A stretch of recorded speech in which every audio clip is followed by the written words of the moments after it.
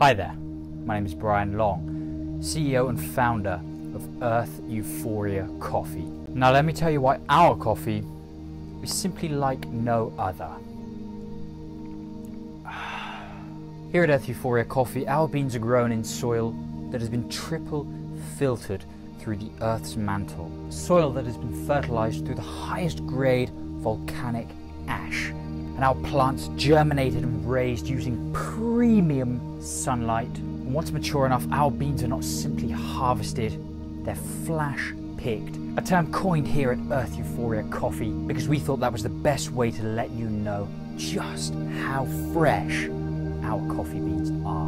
Now, we don't roast our beans, we temporarily combust them, and all of that is what makes a cup of Earth Euphoria coffee almost other worldly. Oh, thank goodness for that. Nigel, yeah. Yeah, can I get a cup of... Yeah, just normal coffee, please. Two sugars, yeah. Milk, yeah, of course.